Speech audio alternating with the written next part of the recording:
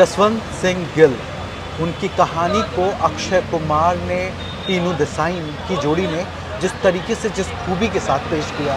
शानदार शानदार शानदार। अक्षय कुमार ने अभी कहा कि ऑडियंस को वो देना चाहते हैं, ऐसी कहानियाँ देना चाहते हैं, ऐसे हीरोज़ की कहानियाँ देना चाहते हैं, जो जिन्होंने वाकई इस कंट्री के लिए कुछ किया so hello and welcome back to channel one second news box में आपका स्वागत है। और जैसे कि आप सभी जानते हैं कि इस फ़िल्म फ्राइडे दो फ़िल्में रिलीज़ हो रही है, लेकिन आज हम बात करने वाले Akshay Kumar starrer mission Raniganj the great Bharat rescue के बारे में और एक एक्सपर्ट जो हैं उनसे रिव्यू जानेंगे कि एंटरटेनमेंट एडिटर्स कुछ जर्नलिस्ट ने फ़िल्म देगी। लेकिन जो एक्सपर्ट एडिटर्स हैं न्यूज़ चैनल्स के उनसे जानेंगे कि फ़िल्म का रिस्पॉन्स कैसा रहा। तो चलिए शुरू करते हैं। सर कैसा लगा रिस्पॉन्स किस फ़िल्म के बारे में पूछ रहे हैं? मिशन रानीगंज जिसके बारे में हम शायद जानते नहीं थे कि ऐसा भी कोई मिशन है हमारे भारत का। नहीं जसवंत गिल के बारे में सारे लोग जानते हैं। मतलब काफ़ी लोग जानते हैं हाँ। दरअसल उनकी कहानी को इतना बढ़ा चढ़ा के इतना तरीके से और इतनी खूबसूरती से कभी कहा नहीं गया। अब मुझे अफसोस है कि मिशन रानीगंज को पूजा फ़िल्म को जिस तरीके से प्रमोट करना चाहिए था इस फ़िल्म को उन्होंने प्रमोट नहीं किया। लेकिन वो काम हम कर देते हैं क्योंकि इस फ़िल्म को प्रमोशन की नहीं मतलब जसवंत सिंह गिल उनकी कहानी को अक्षय कुमार ने टीनू देसाई की जोड़ी ने जिस तरीके से जिस खूबी के साथ पेश किया, शानदार शानदार शानदार। हाँ सबसे पहले मैं कमज़ोरी की बात कर लेता हूँ। फ़िल्म का वीएफएक्स जो है, कुछ एक सीन्स ऐसे लगते हैं कि बहुत लो बजट क्रोमा पे शूट किया गया है। ये एक इकलौती खामी है इस फ़िल्म की। अदरवाइज़ ये फ़िल्म जब से शुरू होती है और जब तक खत्म होती है, इतना शानदार, इतनी थ्रिलिंग इतना पेस सिर्फ़ एक गाना है फ़िल्म में, और एक जो दूसरा गाना रिलीज़ हुआ है, वो जो रोमांटिक ट्रैक है, वो फ़िल्म के क्लाइमेक्स में रखा गया।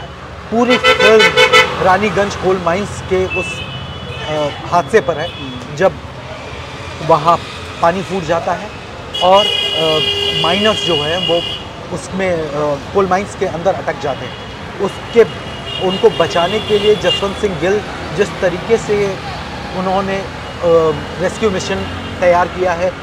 और इंजीनियरिंग जैसे दिखाई है।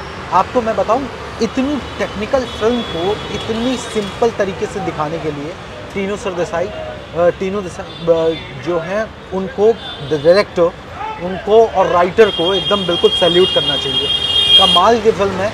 फ़िल्म वर्ड ऑफ़ माउथ पर चलेगी और ज़बरदस्त चलेगी। सर, इस मिशन के बारे में आपको पहले पता था या इस पिक्चर को देखने के बाद आपका थोड़ा सा नहीं, जसवंत सिंह गिल के बारे में मुझे पढ़ा, पता था, मैंने उनके बारे में पढ़ा है। तो मैं मैं उनके बारे में जानता हूँ, लेकिन आम लोग जसवंत सिंह गिल की कहानी को उस तरीके से नहीं जानते। और इंटरेस्ट मैं आपको फैक्ट बताऊँ कि इस फ़िल्म को जिस तरीके से, दोबारा कह रहा हूँ कि जिस तरीके से प्रमोट किया जाना चाहिए था, इस फ़िल्म को, उस तरीके से प्रमोट नहीं किया गया। उम्मीद करता हूँ कि Akshay and the team and the Pooja entertainment इसके बाद लोगों तक इस फ़िल्म को पहुँचाने के लिए चाहे वो ट्विटर सेशन करें इंस्टाग्राम सेशन करें लोगों का सेशन करें लेकिन ज़रूर करें क्योंकि शानदार फ़िल्म है और शानदार फ़िल्म का लोगों तक पहुँचना बहुत ज़रूरी है। वही सर मैं ऐसी बात कर रहा था क्योंकि आइडिया नहीं है लोगों को कि ये फ़िल्म कल रिलीज़ होने वाली है मतलब बहुत कम लोगों को पता है।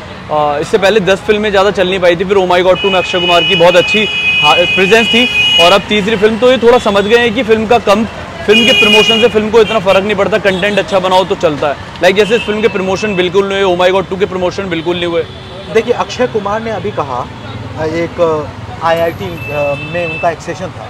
उस सेशन में अक्षय कुमार ने कहा कि वो वो अपनी ऑडियंस को वो देना चाहते हैं। ऐसी कहानियाँ देना चाहते हैं, ऐसे हीरोज़ की कहानियाँ देना चाहते हैं, जो जिन्होंने वाकई इस कंट्री के लिए कुछ किया। उन्होंने पैडमैन बनाई ओ माय गॉड शानदार शानदार फ़िल्म और ये अक्षय कुमार का वो अवतार है जिसके लिए हम अक्षय कुमार को जानते हैं जिन जिसके लिए हम अक्षय कुमार को देखना चाहते हैं. अक्षय कुमार इस फ़िल्म में जसवंत सिंह गिल के कैरेक्टर में एकदम परफेक्ट लगे हैं.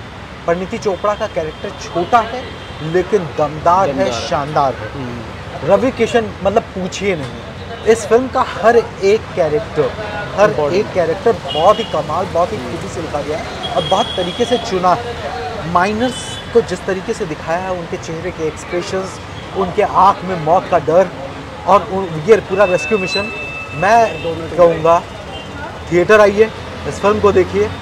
इस फ़िल्म को देखने के बाद आपको पता चलेगा कि हिंदुस्तान में हीरोज़ की कमी है। सो so, दोस्तों आज के लिए बस इतना ही। आई होप वीडियो पर आपको पसंद आया होगा और इनका रिव्यू जानने के बाद आपको थोड़ा सा आइडिया लग गया होगा कि फ़िल्म का रिस्पांस कैसा होने वाला है और आपको क्या फ़िल्म हॉल पे देखनी है या फिर फ़िल्म के लिए आपको ओटीटी का वेट करना है। सो so, दोस्तों आज के लिए बस इतना ही। आई होप वीडियो आपको पसंद आया so if you love this video please like कीजिए शेयर कीजिए और सब्सक्राइब कीजिए न्यूज़ बफ ताकि इसी तरह की सारी अपडेट आप तक ऐसे ही पहुँचती रहे। Thank you so much